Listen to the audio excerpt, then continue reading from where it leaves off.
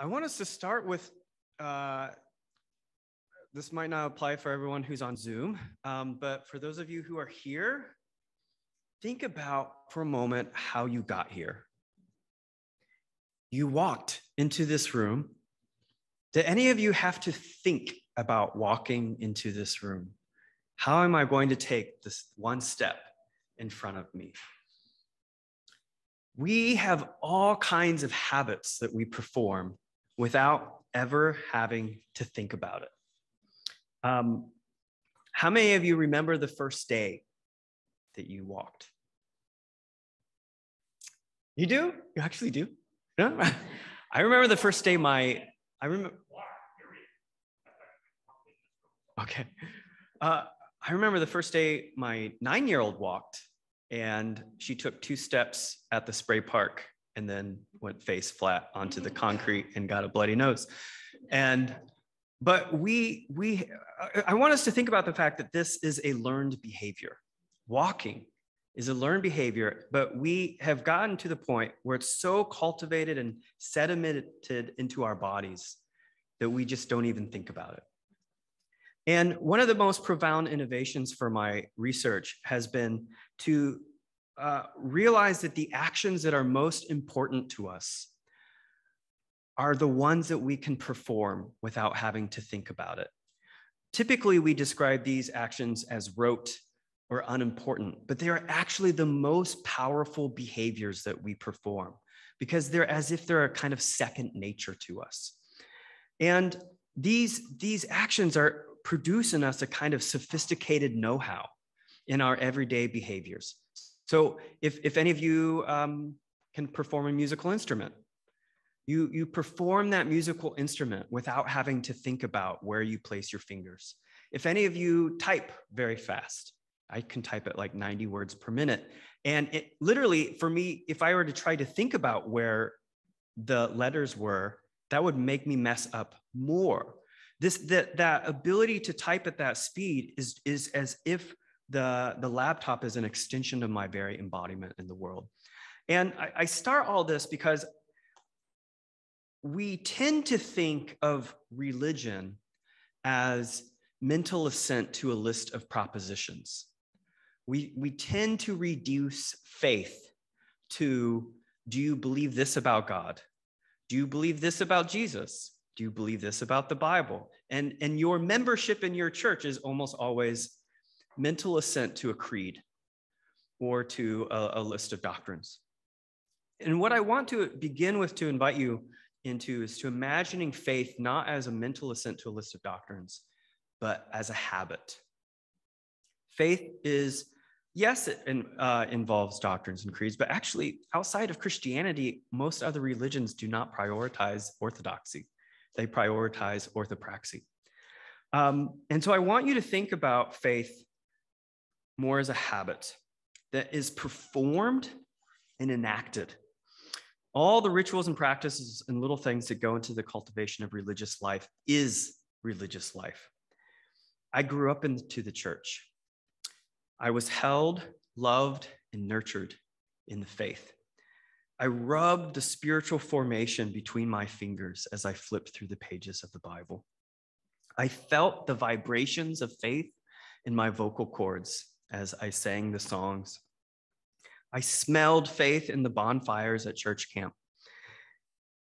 I tasted faith in crackers and grape juice. My entire body was immersed. I grew up Baptist in, in, in, in the waters of baptism.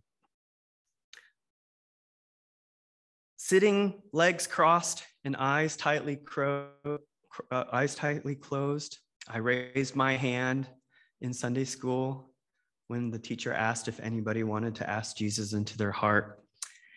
I prayed that prayer many times, not ever sure if it stuck. Still not sure if it stuck. I was petrified into the faith.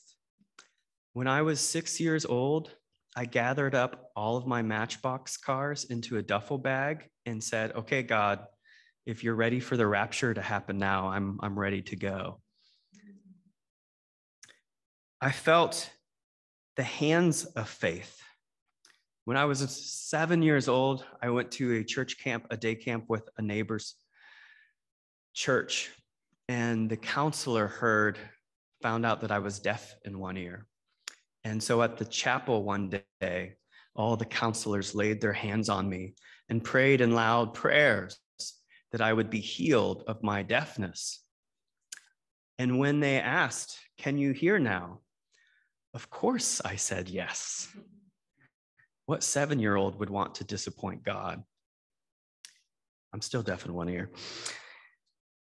By the time I was in high school, I developed the calloused feet of faith, walking into church three times a week, going to Bible study on Tuesday morning, going to a prayer group on Friday night, going to choir practice once a week.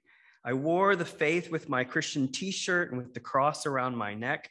I felt the pangers of hunger of faith when I did the 30 hour famine and fasted.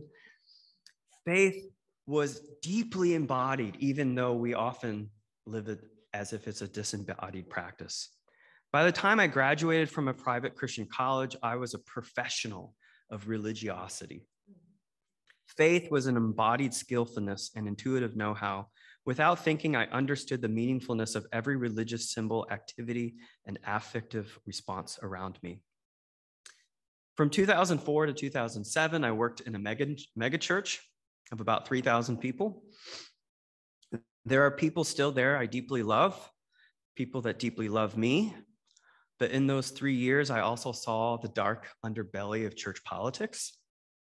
I discovered the pride, love of power, manipulation, and corruption that can happen behind the scenes.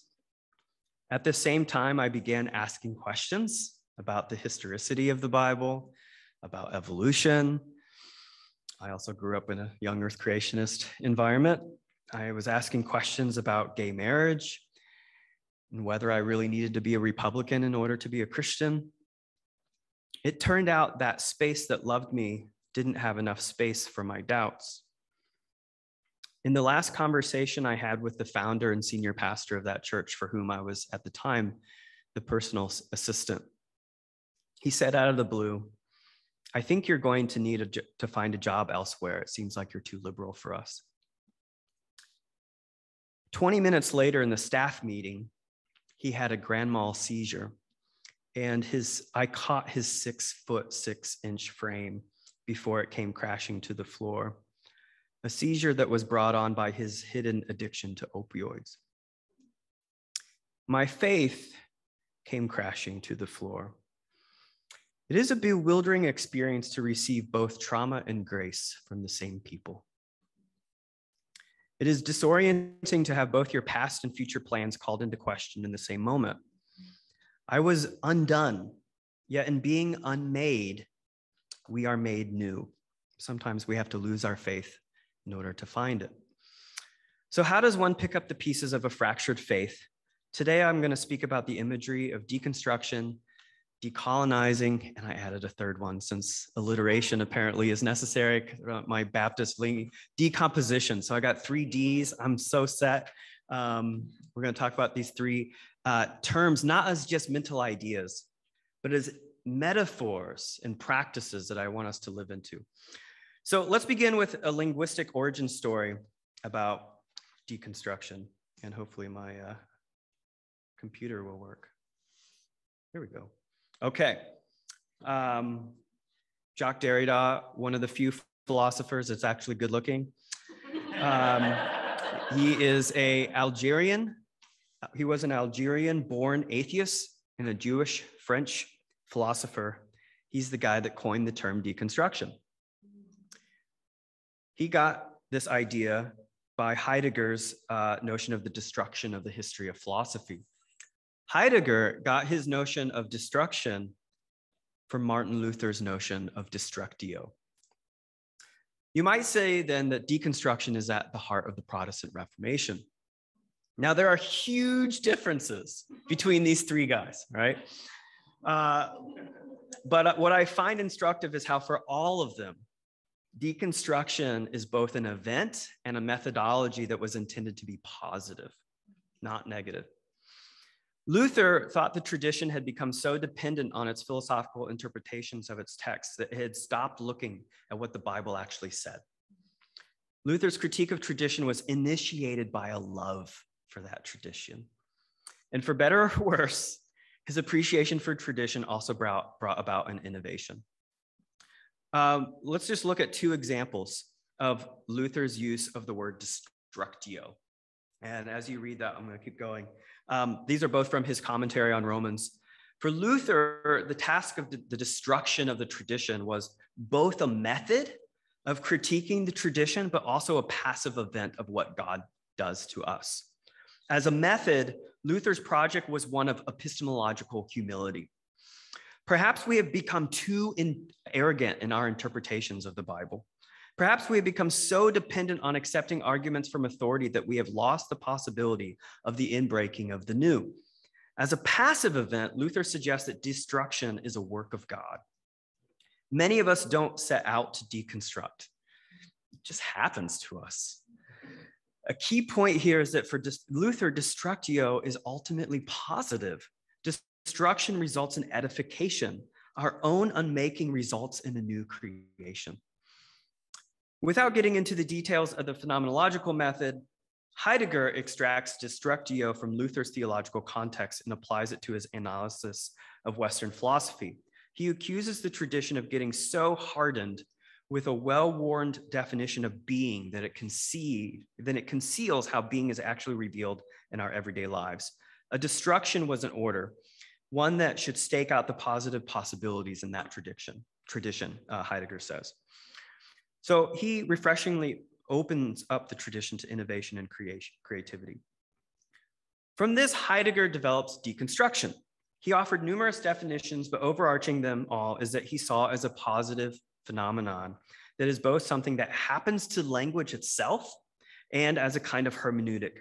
As a passive event, Derrida points out that sometimes texts are inherently self contradictory. Sometimes when we say something, it turns out we say something else, right? That we didn't intend to. When we speak, our words carry a wide semantic range of meaning. And it's precisely from this undecidability that we gain new ideas from our speech. My favorite example for, from uh, Derrida is the notion of the term hospitality.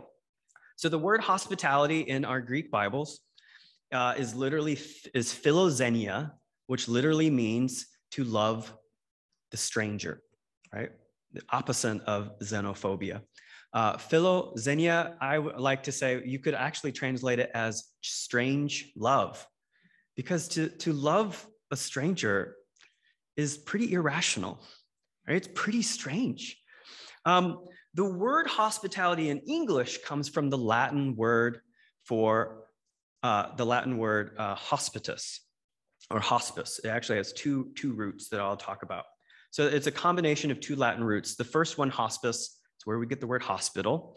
Um, but this word has this strange evolution in its genealogy. At one point, it meant something like hospital. Uh, it also went on to uh, the word hostess is, is built into this word, at which we get the word host. Um, but this word also originally meant a stranger. And another time it meant enemy, which is where we get the word hostile. Hostile and hospital come from the same root word. And in fact, it went on to mean the word army. And if you grew up reading the KJV, every time the God is called the Lord of hosts, it's the same word. And then it went on to mean guest. The second word that's built into the word hospitality is potus. So I put potus. This is like good dad joke there, right? Um, right? So where we get the word potency, potus. So Derrida, uh, so hospitality, the, the word hospital effectively means I have the power to heal you and also to tell you when it's time to leave. Right? The word hospitality means when I'm hosting a party, I have the power to invite guests over, but also to tell you you can't stay here any longer, leave my house. Right? Uh, so Derrida locates in this term an, an intrinsic paradox right? Hospitality hinges on the dynamic of having power to let someone into my house, but also of giving up my power so they can enjoy my things. A radical hospitality would be as if I invited you to my house and then I gave you the, the keys of my house. Hospitality hinges on the dynamic risk of inviting the stranger versus inviting the enemy. The risky paradox is most beautifully articulated in the words of Reform Rabbi Charlie Cytron Walker, who, after he survived an attempt of on his life in a hostage situation, he was asked, Would you invite someone into your synagogue again? And he said, When someone comes to the door, they are questioning, they're asking, Am I going to be accepted? accepted? Am I going to belong?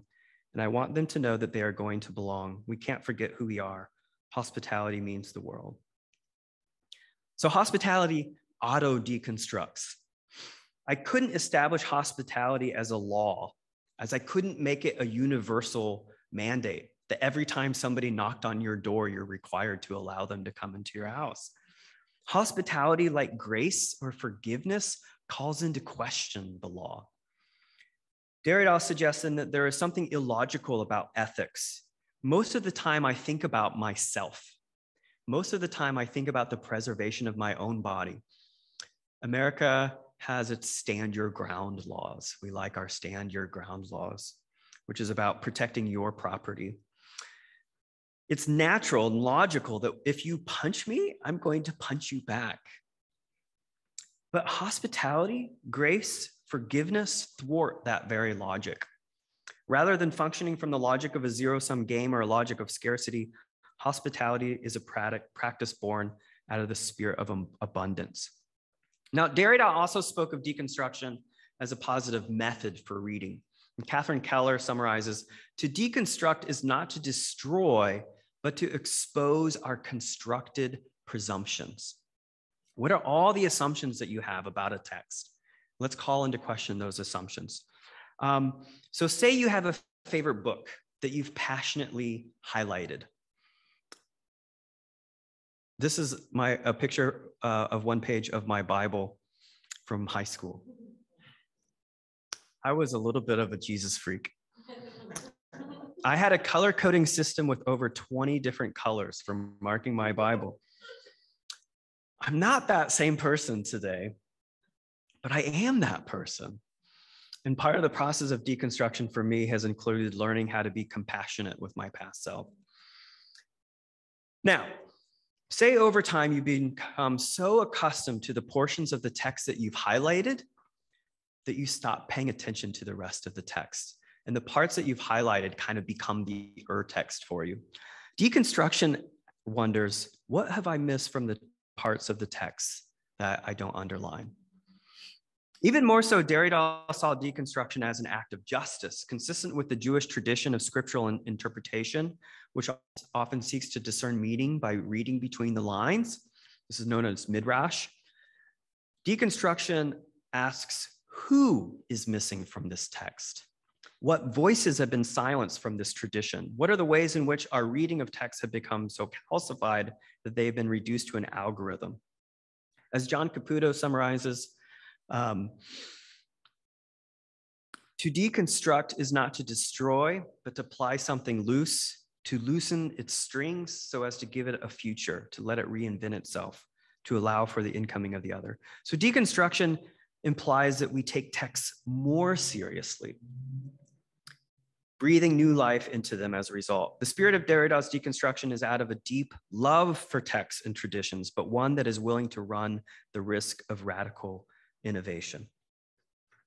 If time permitted, because uh, I really love this stuff, I could talk about how Augustine actually already prepares the way for this, but I'll spare you that um, since there's only so many people that I can I can share with. Um, but I want us to think about then habits of deconstruction. So, my mentor, uh, George Yancey, defined philosophy as asking of us nothing less than to face both who we are in the world with as much honesty as we can manage, to grieve that world and to grieve our own mistakes within that world, and yet to be moved and transformed by the love of wisdom in the wisdom of love. I found deconstruction to be a movement of honesty, a willingness to grieve, and an act of love.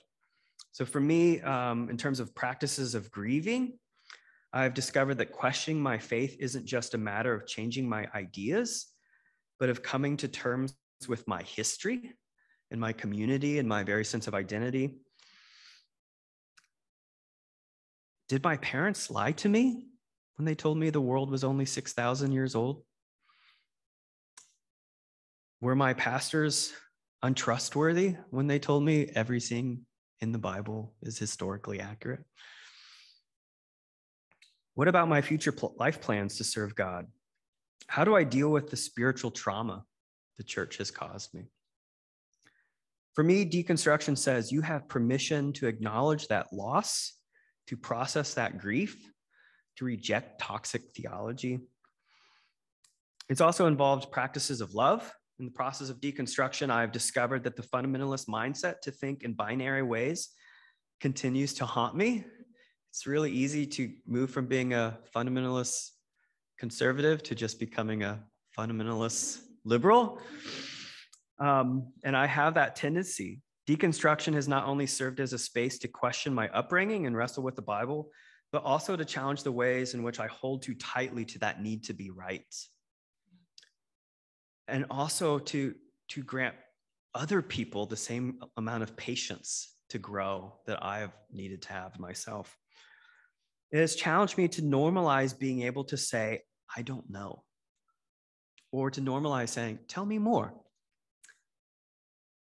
To not only feel the, discom- the discomfort of being exposed to new ideas, but to cultivate compassion and patience. This is really hard work. Uh, and third, practices of listening. As a philosophy professor, deconstruction has been a pathway to hospitality, as an invitation to listen to the voices that I was not trained to even recognize.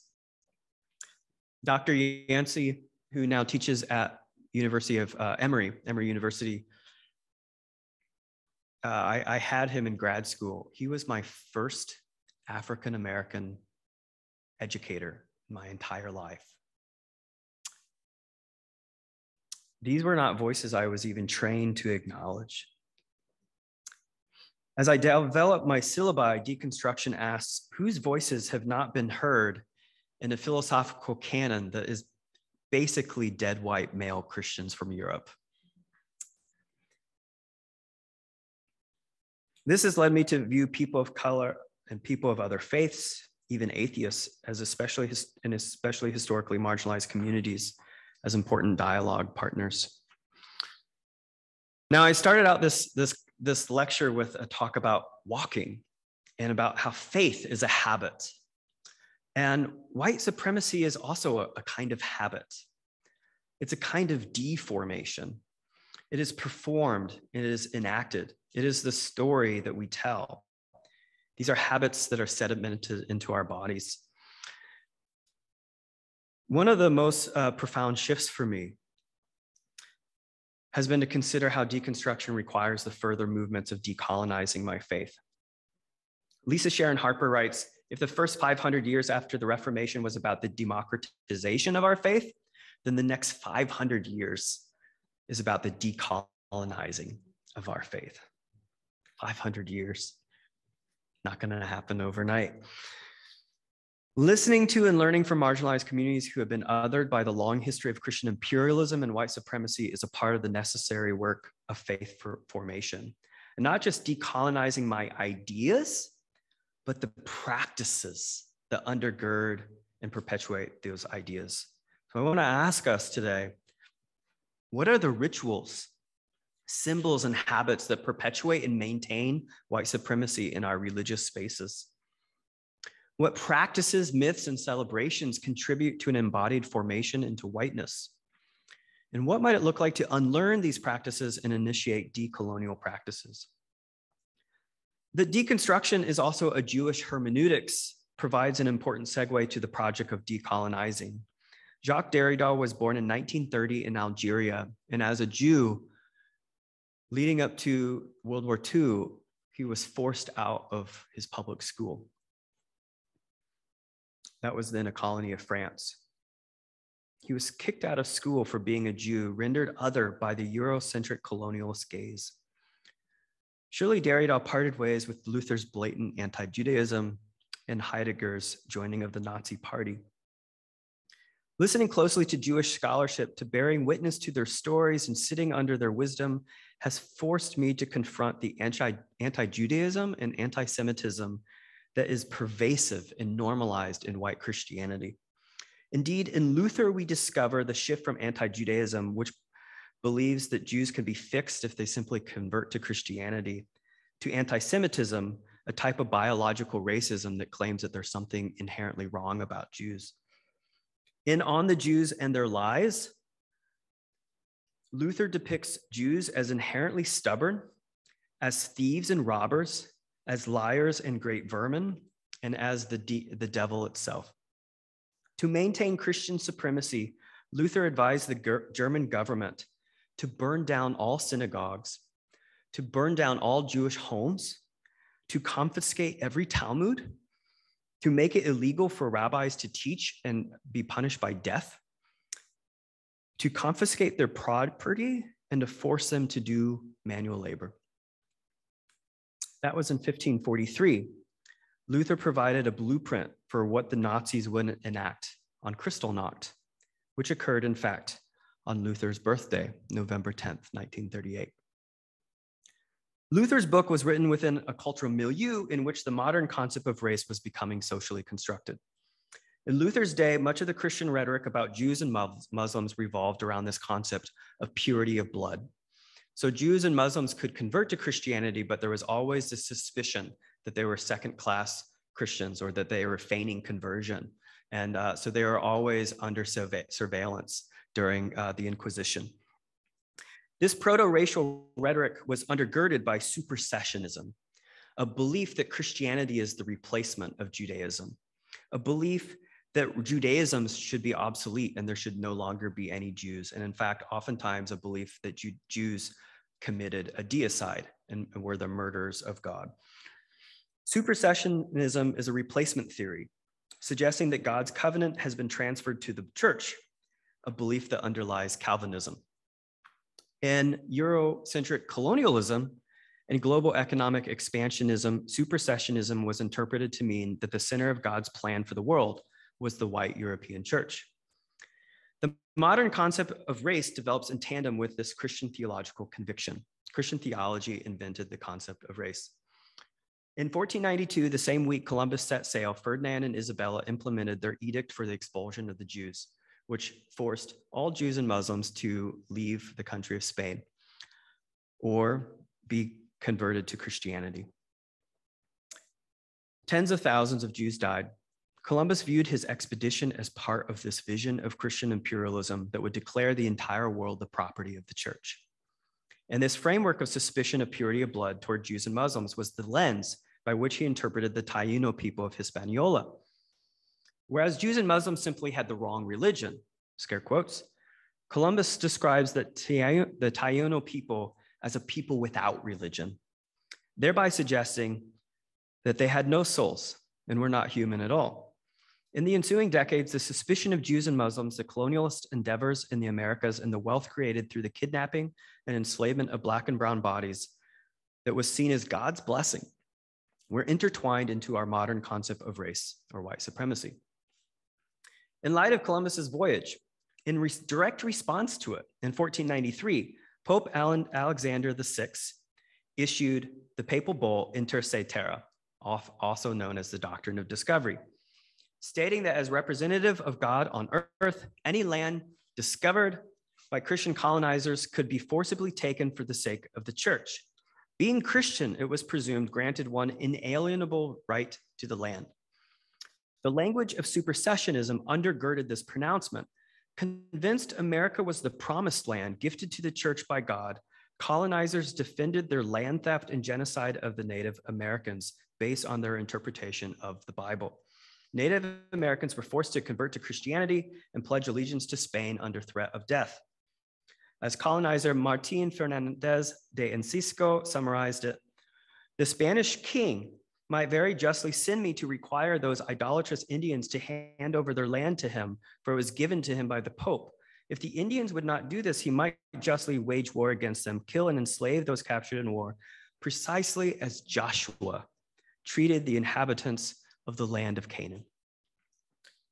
Supersessionism, this pernicious belief that Christianity is a replacement of Judaism, that Christians are better, special, and chosen, pervasively undergirds the entire American enterprise.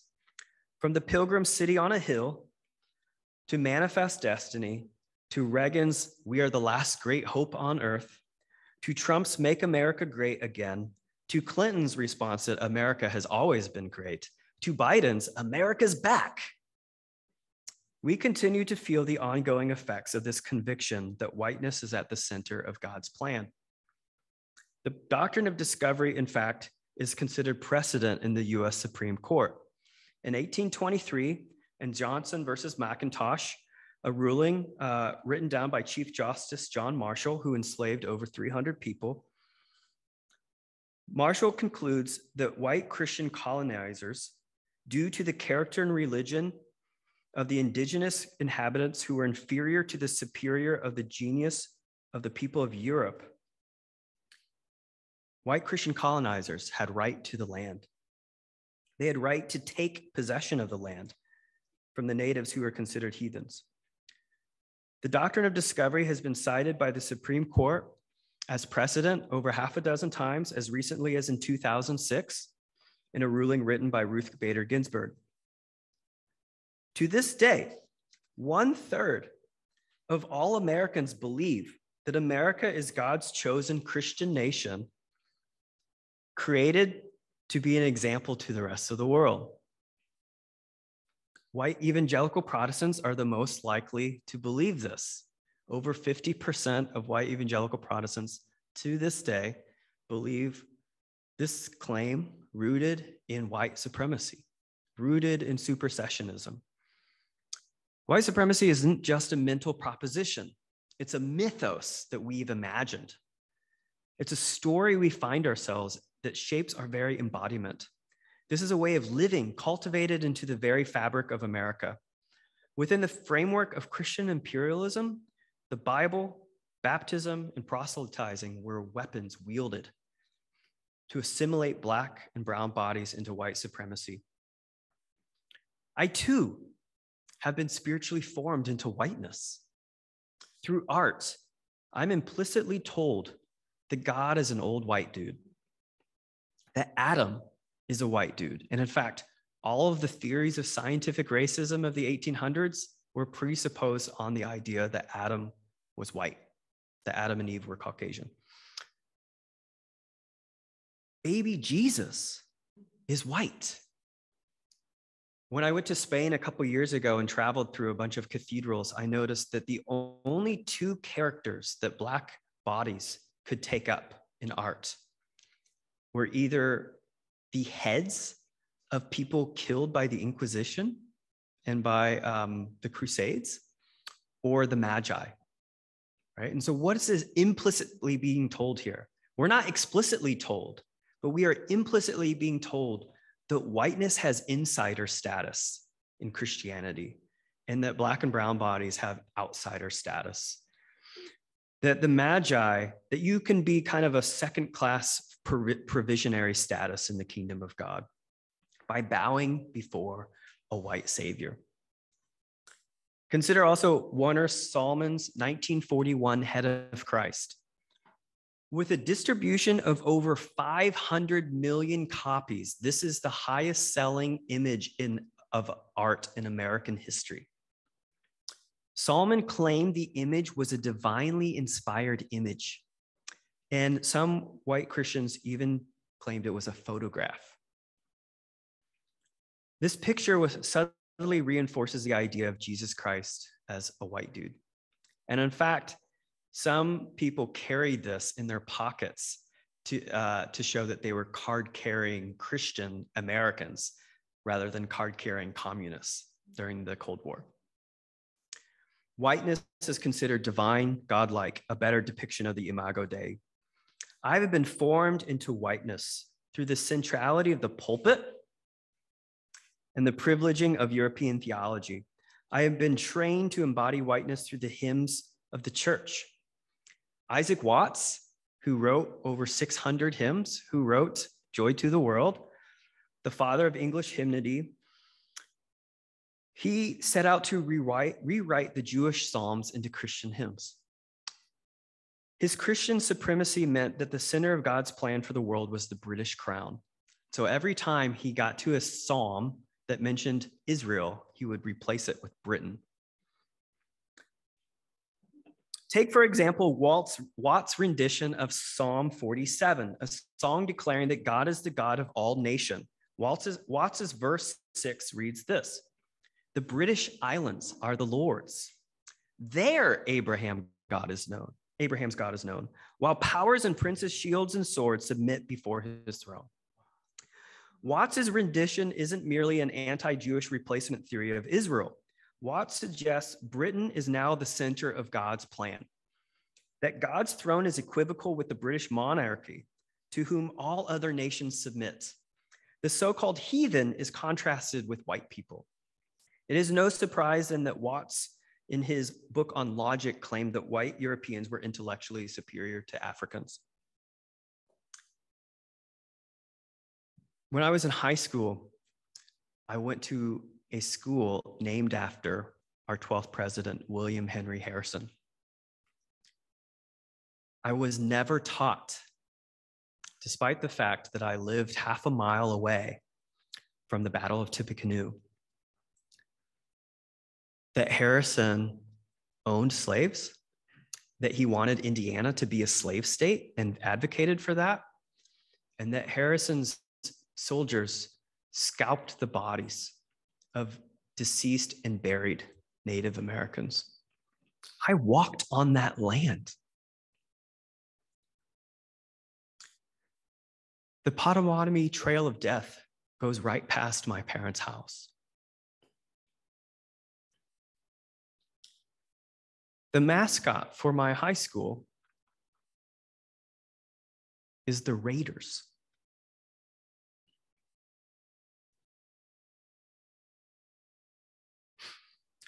I've heard so many sermons where the word Pharisee was used as an anti Semitic slur, where it was normalized to depict Jews as the bad guys and Christians as chosen. I grew up going to missions conferences where there was a gigantic American flag hung at the front of the, the church. As we prayed for Black and Brown souls to accept Jesus and implicitly be baptized into American democracy, I was trained to witness to people with colored beads, where black symbolized sin and white symbolized righteousness. With one breath, the preachers and Sunday school teachers of my youth who fostered my spiritual growth proclaimed all people are made in the image of God. And in the next breath, they wanted to keep Muslims out of our country. This internalized white supremacy was not merely intellectual, but was embodied into my soul, day by day, hour by hour, year by year, into the movements were reflexes.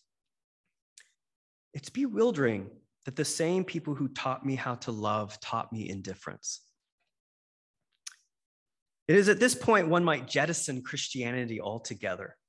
The many atrocities, the millions who have been enslaved and slaughtered in the name of Christianity offers a warranted justification to reject Christianity and its theodicy, that everything happens for the greater good, which really means it blesses white people. As theologian William R. Jones wrote in 1973, if we are honest, if the, the, historical evidence from the Christian church suggests that God is a white racist, what does it look like to decolonize our faith? How do I grieve an upbringing that trained me into the habits of whiteness? Part of my process of cultivating decolonial habits has included listening to and learning from other faith traditions and not in a way to appropriate their ideas or to assimilate them, right? That's been the modus operandi of Christian imperialism for 1700 years, but rather to bear witness to their stories. But I've also become compelled to conclude that jettisoning Christianity altogether due to its history of white supremacy would also be a form of maintaining white supremacy, because that would then suggest that the only iterations of Christianity that have ever mattered would be white European Christianity. It would be to forget that there are no white people in the Bible, but Africa in the Middle East squares quite prominently in the Bible. It would be to forget the Ethiopian church and the Coptic church and the Latin American church and the Black church. It requires willfully erasing the history of marginalized communities that, who found in Christianity not only a vision that confirmed their humanity, but helped them carve out a space for their existence in the world that was not made for them. That provided the tools for subversive resistance against hegemonic systems of imperialist subjugation. In unlearning white supremacist habits, I've been trying to replace them with decolonial habits. Um, I've been challenged, for example, by images that contest the ways in which whiteness has been normalized. Images that invite us into new metaphors of God and faith, but also subversively critique the patriarchy, whiteness, and homophobia that undergird so much Christian theology. It's very interesting. I have my students, we just got done t- talking about feminist interpretations of the Bible and of God. And all of us in this room were probably raised to pray, Dear Heavenly Father. And I just invite my students say, just try it, try it out. Dear Heavenly Mother. And every year I'll have students who are like, that's just wrong. I can feel it in my body that it's wrong, right? Like, I pay attention to what happens to your body when you see these images, right? Pay attention to how we've been normalized to think that whiteness is the norm and that these are deviations. These are exceptions to the rule, whereas whiteness is the rule. One womanist theologian, um, Angela Parker, points out that in the framework of imperialism, we've been conditioned to believe the Bible must be accepted with unquestioned subservience. She writes that the notion of biblical inerrancy is a form of white supremacy. The word authority actually comes from the Latin auctoritas, which actually implies conversations with rather than unquestioning, unquestioned obedience. In short, a practice of decolonizing our faith is an invitation to wrestle with the Bible, to argue with it, and to disagree with it, to see ourselves as dialogue, dialogue partners with the text. So one, one invitation I invite my students in uh, uh, to participate in is uh, blackout poetry. A blackout poem is done by taking a Sharpie marker to an existing text and creating a poem out of the words that remain, particularly a text that has been used to justify oppression and marginalization. Um, this is uh, one done by uh, one of my friends and colleagues. It's a subversive and redemptive act of resistance. Finally, as I read the Bible or a philosophy text and read the news or listen to a sermon, I've also become habituated to ask decolonizing questions, to notice and pay attention. Key one that I've really started in integrating into my classes, when, especially when we talk about the problem of evil and theodicy. Um, if I, ah, go back, go back. What happened? Here we go. Who benefits from this framework? Who benefits from this theology? Who benefits from this political view? Right? When somebody says everything happens for a reason, who benefits from that, that view? Whose ideas are privileged? Who's considered a producer of knowledge? Whose experience is being intentionally excluded? Whose history is being remembered? What systems contribute to and perpetuate that exclusion? How have I benefited from these systems? 79% of all philosophers in America are white dudes. Less than 1% are African American. What beliefs, practices, or stories do I need to give up because they are harmful to others? Decolonizing is an act of love because white supremacy hurts all of us. Maybe there won't be much of a white church left after this process. I, you know, there's a saying that uh, it's easier to imagine the end of the world than the end of capitalism, right? Can we even imagine a church that isn't premised on anti Judaism? I'm not sure we can. But unmaking results in a new creation. Our metaphors matter. They shape our mind, body, and imagination. One of the weaknesses of the language of deconstruction is how it calls to mind the Enlightenment foundationalism of Descartes, as if knowledge is a building that we build and a house that we live in. On this account, knowledge is a building that humans, mostly white dudes, erect. Echoing the mechanistic framework of modern science that likens the world to a clock, humans are machines and run on systematic worldviews. Knowledge is engineered and manufactured. Through such knowledge, Descartes proclaimed that through science, Europeans would become masters and possessors of nature. This view perpetuates colonialism, for in the European account of civilization, the only cultures deemed civilized were those that saw humans as separate from nature. Inspired by indigenous ways of knowing, in addition to deconstruction and decolonialism, I've come to appreciate the language of decomposition. Decomposition brings in us into connection with the soil beneath my feet. And I did not plan this, but our church, The Open Door, is doing a whole theme right now on com composting and on waste. And I did not plan this. Um, decomposition brings in connection with the reality that we humans are humus. We are the soil, made from the same material as earth. In fact, we're all just stardust. The language of decomposition resonates with the positive force of deconstruction while situating me within a more organic, chaotic, mutualistic metaphor. While deconstruction connotes the imagery that faith is primarily a matter of indi individual belief that I build systematically, decomposition suggests we are mutually dynamically intertwined with all reality. Faith isn't constructed, it's cultivated. In the spring, I plant flowers in the soil and watch life unfold my, before my eyes. In the fall, I place them in the compost bin. Over time, that compost becomes beautifully black topsoil. Without this process of decomposition, there is no life. And uh, just a couple weeks ago, Pastor John in our church said that the thing that the farm grows the most is compost. The process of decomposition isn't devoid of life any less than deconstruction is devoid of reconstruction. In one handful of soil, there are more living organisms than there are people on earth. A single handful of soil contains over 500 species of fungi and potentially more than 30 miles of fungal mycelium. It may even include between 50 and 100 billion individual specimens of bacteria. Your body is a similar ecosystem, a microbiome. There are more bacteria in your gut than there are cells that make up your body, the number of cells that make up your body. This ecosystem of decomposition is integrated with the entire mutualistic relationship of living things that has aptly been called the wood wide web. Better than Kevin Bacon, the underground fungal network links all the trees in a forest within three degrees of separation or less.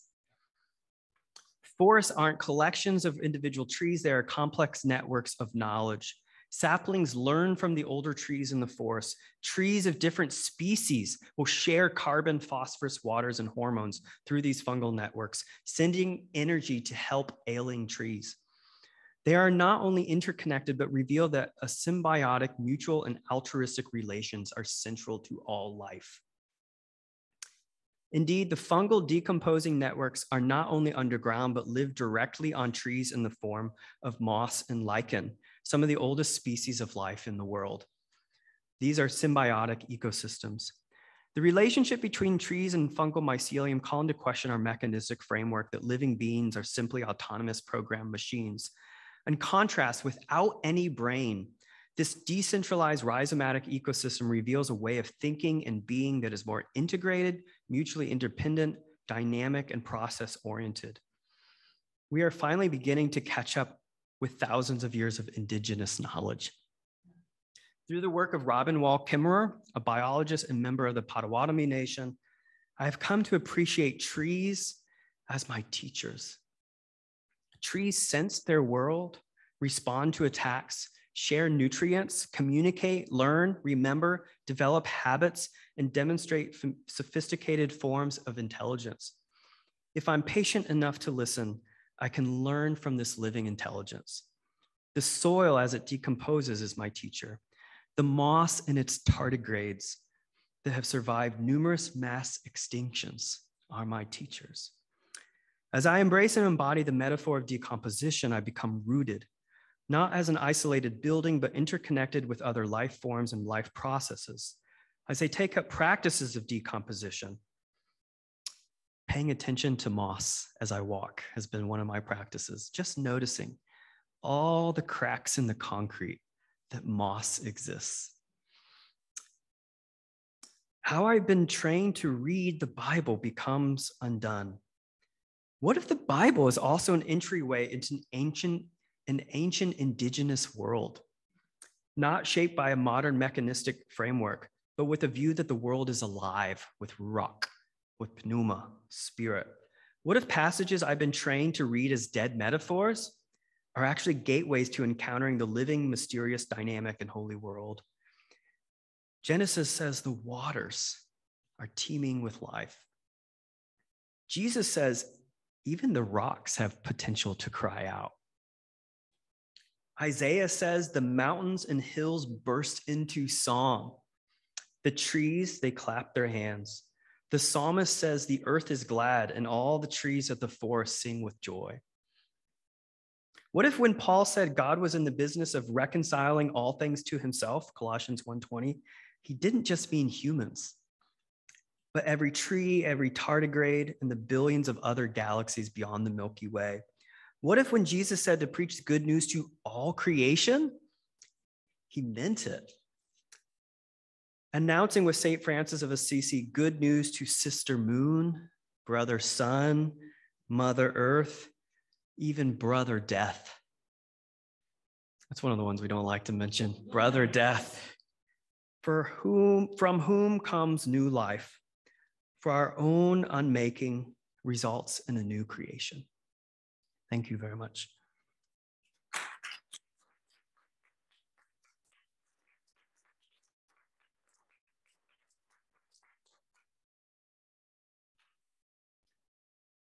Okay, go ahead. Yeah. Well, I so um, I hope you have your Slido up and your questions are being um, formulated. We'll give Brock um, a, a, minute or so to drink some water and catch his breath after that. Just really stunning presentation. Thank you so much. Um, and I believe you have Slido up so you can see kind of who is at the top. Um, if you want to just go through those questions sure. and I'm sure others will come. In. Okay. And it looks like there might be questions on the chat or, or is that just, okay. Okay, cool. All right. Oh, go all the way back? All the way back to the yeah the QR code? Yeah. Sure. This thing? Yeah. Okay. Oops. There we go. Okay. Uh,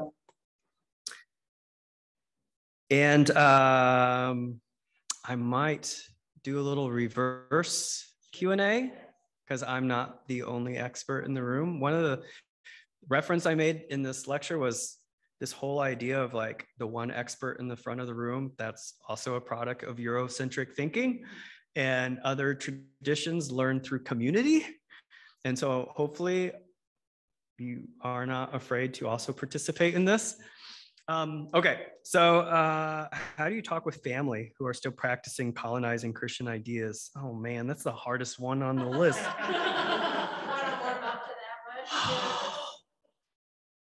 this is the hardest one. Um, and I'm still trying to figure this out. I don't, I mean, I mean, I, I, I have relatives who, who have used the N word. And I don't, I mean, so it's right, these habits are deep seated. Um, I have a family member where I told them about the history of redlining. People know the history of redlining, right? Like, hopefully, right? So, the US government intentionally, systematically made a system where only people in predominantly white neighborhoods could get a loan, a mortgage. Um, we're still feeling the effects of that. And I have a, a, family member where I told them like the whole history of redlining. And they finally purchased the book, uh, The Color of Law, and they read the first chapter and they said, This just made me so angry, I had to stop reading. I was like, But keep reading. You have to keep, right? So it's, I mean, this, there is no easy answer to this question other than like keep showing up, keep being an example, um, keep trying to figure it out. I mean, uh, right? We're often told at Thanksgiving, which also is a ceremony invented to perpetuate white supremacy. Um, right. it wasn't until I was in my 30s that I learned the reason Squanto helped out the Nate, the uh, colonizers. It was because he he knew English because he had been in, uh, enslaved and taken back to England on a couple different occasions, right? Um, right? We're told that at Thanksgiving we're not supposed to talk about these types of things, right? We're not supposed to talk about religion and politics, but so I, I, it takes a lot of courage, and I think finding ways to uh, ask those questions, and maybe that, well, that's been one of the challenges for me because my need to be like that need to be right like i really want to be my first initial response is to be combative and be like well let me tell you this actually right? And that never works right? It never works. And i and so and also like being patient right? It's taken me years to get to where i'm at right now. And what does it look like to have patience with people who have not had they've not had to confront the legacy of white supremacy? And frankly they've intentionally had a willful ignorance right? Because if you if you have access to the internet all this information's out there right? But um so i, I mean i don't i don't have an, an, an easy answer to this one. Uh showing up keep pointing it out. Um i started a petition a petition to try to get my high school's name changed. It didn't go over very well. Um, but I mean, I like so you could call it a failure, but right, there are generations and generations of people of color who never saw civil rights, who never saw the end of slavery. And so, like, you have to be willing to fail and just keep showing up, is, is at least one of the things I've learned here. Um, and just patiently bringing it up. I don't, anybody else want to try to like Anybody else want to tackle that one? How do you talk with family who are still practicing colonizing Christian ideas? And, and I think maybe one of the things I'm still practicing colonizing Christian ideas. That's part of the, the reality. Yeah. I'll say at um, Hot Metal one. Oh, yeah. Um, at Hot Metal, one of the resources people have found valuable as they are trying. So it doesn't have all the answers, um, but we um, have studied the White Ally Toolkit by David Campt um, as kind of uh, a starting place for how to have some of these hard conversations with loved ones. Um, so that is a place to start, at yeah. least for us. You know, one thing I've done, well, I've seen happen. So every once in a while, when I teach about white supremacy in my my classes, I'll have a student email me and like say, "What do I do at Thanksgiving?" or "What do I do over the holidays?" Um, I'm always interested to see like what they say, you know, when they come back. But one of the, you know, I have a, a whole list on the religious studies website, uh, Pitt's religious studies website. I have I have a whole list I created of uh, scholarship by African Americans about race and religion, white supremacy, the black church. And maybe just take one text and bring, you know, if you have a good relationship with your relatives, just say, would you be willing to read this with me?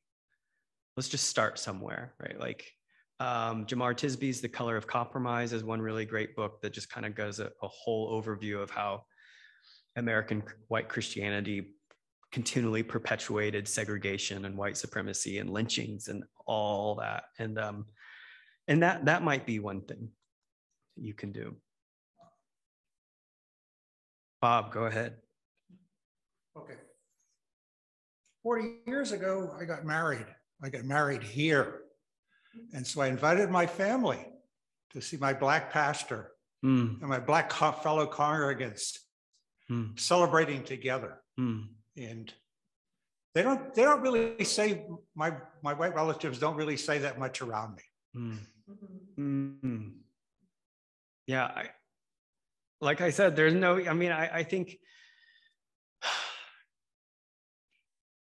one of the things that's really challenged me is that most of the time with discussions about white supremacy, the more majority of the people who are expected to do the work are the people who've been marginalized and oppressed by white supremacy. And then white people are expected to just kind of like trail along and, and just kind of wait and see what happens. And I think making that shift and saying, no, this is my this is my job. This is my task to deal with this. But also at the same time, what do boundaries look like? Like what what what are the limits? Right? Like every person that I see on Twitter that says something I disagree with is not my job to try to solve, right? Like, and so learning how to make those boundaries is also like for the protection of your own sanity and personal health is, is really important. I don't, I mean, that's not an easy, there's no like one, one uh, step solution for that. Okay. Um, how do we balance singing songs like Joy to the World with the reality of the foundation of white supremacy? I mean, this is this, I mean, really, it's, it's kind of like the same question of like, what do we do with the fact that right, the Declaration of Independence was written by a guy who enslaved 600 people? What do we do with the fact that Martin Heidegger, the most important philosopher of the 20th century, became a Nazi? Right? We like these are like questions that are just not going to go away, and we can't we can't just excise that from our history. Like Immanuel Kant, most important philosopher in German history, promoted white supremacy explicitly, right? Like I can't teach a, a, modern philosophy class without. And so, like, one of my approaches has been to say, look, Kant said this, but he also said this, and just say, look, we, we have to we have to know this history. We can't forget this history. But I also think there's a difference between knowing the history and memorializing the history, right? Like, you know, and this kind of goes into the whole Confederate monuments issue, right? Like memorialize, we don't have to memorialize that history because when we put something as a monument, we're not just saying something about the past, but we're saying something about who we are and who we want to become. Um, so I, I think there are ways in which maybe maybe decolonizing the hymnal or decolonizing your bookshelf requires that maybe I don't need Luther anymore. Or like I maybe other people who don't have that history did it better and I, I and I, I, don't again I don't think there's a one size fit all um, solution. I mean I, I, think it's it's it's um, I think I mean for me th- knowing what I learned about I've learned about Isaac Watts right joy to the world the Lord has come let earth receive her King. I think in his mindset the king looks a lot like the British monarchy right. I, I think music has a way that we can kind of transgress those um, original intentions in a way that I think um, you can work through. But I think at the very least, we just can't we can't ignore it. We can't just act, say, "Oh, it's not a big issue. It's not it's not unimportant." Um, I don't, the, this is like a perennial question, so I don't I don't have like an an instant answer on this one. This is really a really important one. I think there are ways in which there are some thinkers that we probably just need to divest ourselves from, you know, um, because other people have already said it better, right? Um, um, and with their history. Um, okay. Uh, oh, John, how are you working this out with your family, your spouse, and kids? Um, uh, my pastor's asking me this. His, his, his, of course, his kids just spent the night at my my kid's house last night. So, um, I this is ongoing. You know, it's interesting. Like, we've intentionally put our kids in public Pittsburgh public schools for this reason, uh, so that they can have a an encounter with diversity uh, and a commitment to that um, that school system in, in ways that I never had. Um, you know, so my kids are learning about um, you know all kinds of of amazing African Americans during February, right? And it shouldn't be relegated to just Black History Month, but they, I, last week, they, you know, for Women's History Month, uh, on Friday, kids are supposed to dress up as like some famous woman. And my daughter dressed up as Taraji P. Henson. Um, that never would have occurred to me, right? As a, as a child. Like, and, and so I think part of it, you know, we've been richly, uh, I think, blessed by allowing having our kids in an environment where, in some ways, they're teaching us, and and being willing to be to be taught by that by that environment has been very good for us. Um, we've had moments like, I, I again. Um, maybe how you talk about some of these issues and this history is going to be different to talk about it with a nine year old but you know like when um, there were Black Lives Matter protests going through East Liberty a few years ago. We actually happened to be driving past some of them. And so we explained to our kids what was happening. And we talked about um, sometimes police make bad decisions and they're not always perfect, right? Like they're, you know, and, and trying to get our students or my kids past this some kind of like black white binary, right, of, of good and evil um, has been something we've done. Um, but it's also ongoing. Um, that's a great question, really great question. I don't know, anybody else want to, how have you worked this out with your kids or family? How do you talk about race with your family?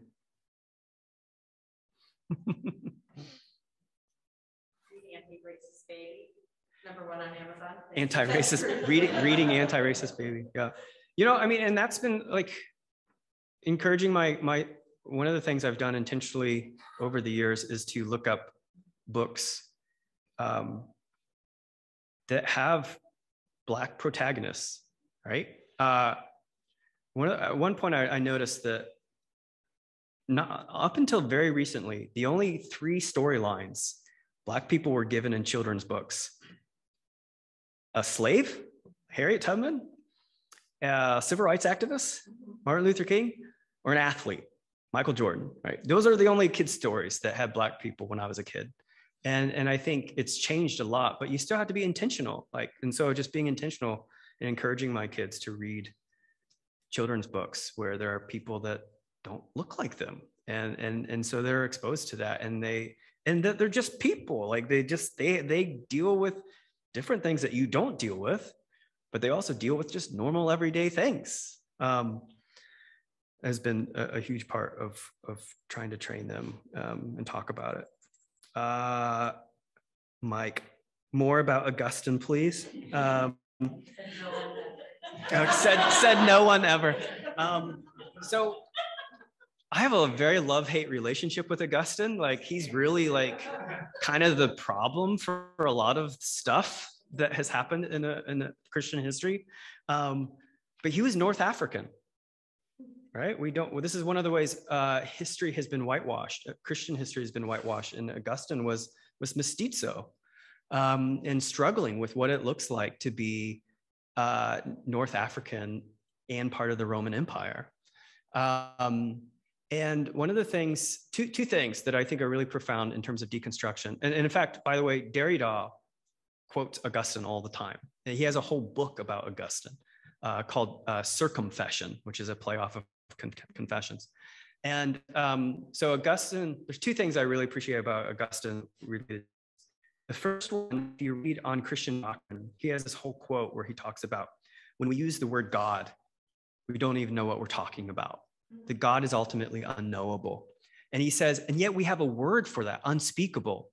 So when we use the word unspeakable, do we even know what we're talking about? And he goes around and around in circles.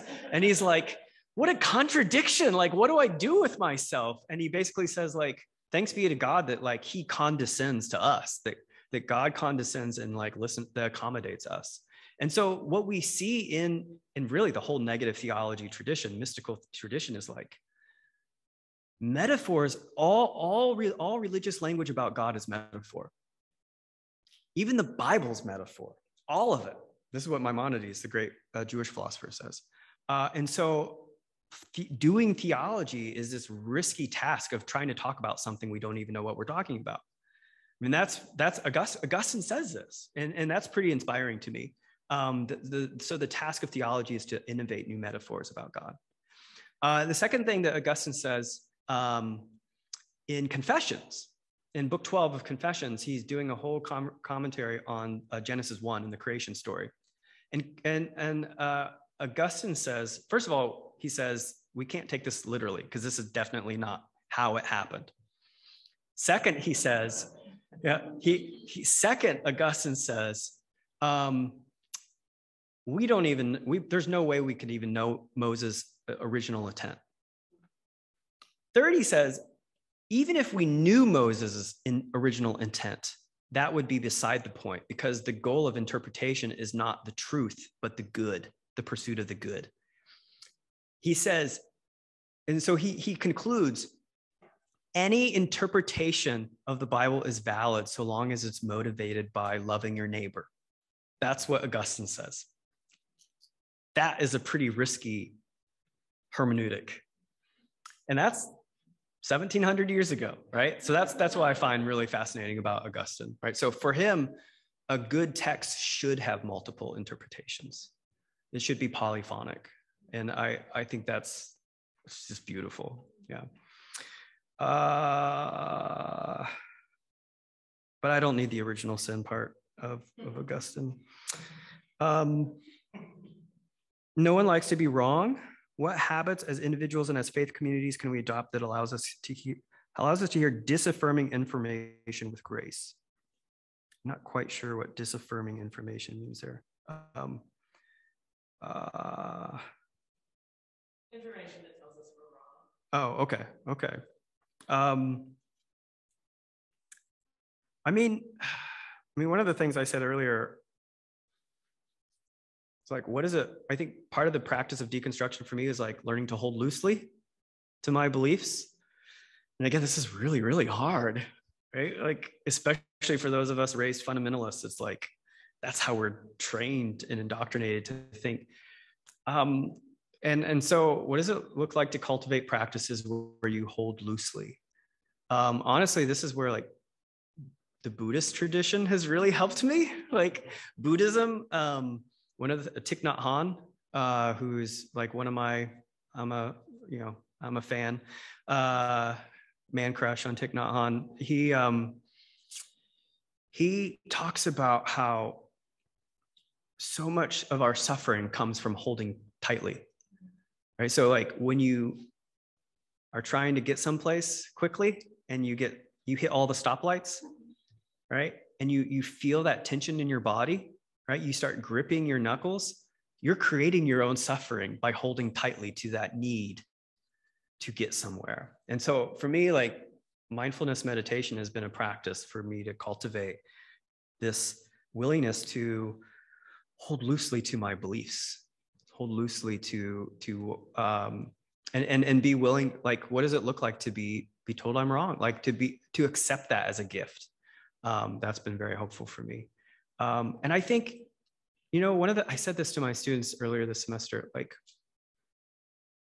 we've created a culture where ignorance or like being wrong is, is like considered a bad thing. But the great thing about ignorance is you can fix it. Like you can learn, right? Like, like indifference, that's harder to fix if you're a cynic. But ignorance, like just so having that like cultivating that that willingness to learn new things like reading books that might make you feel uncomfortable um, has been part of my practices um, simeon so much of this is tied to american exceptionalism absolutely and calls us to grieve our collective sin absolutely ways we can lead congregations in collective repent oh my uh, maybe the pastors can help me out on this one. Um, how have you led your your churches in uh, collective re- repentance? I mean, uh, the first thing I would say, like, I think one of the huge challenges for us is to start thinking more collectively. Um, we are so part of American exceptionalism is I'm the rugged individualist and I'm only responsible for for for my own actions, and uh, the recon- coming to recognize and deal with uh, institutionalized and systematic racism requires us to think more collectively. But um, you know, I think lament is a huge thing. Um, I don't know. Any any of you pastors want to take this one? What are the ways in which you've you've um, led your congregations in collective repentance or collective lament?